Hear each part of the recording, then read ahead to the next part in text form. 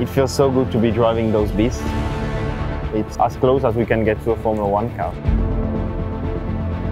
It's an SF90 Stradale, 1000 horsepower. This is the Pack Fiorano, they call it. You don't find many cars on the road like that. Okay, this is going to be fun.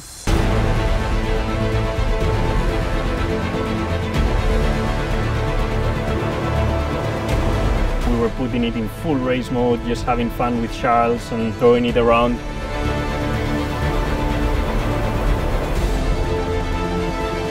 It's a hybrid car. Ah, it's crazy. I saw you a couple of times there playing. Ah, I saw you too.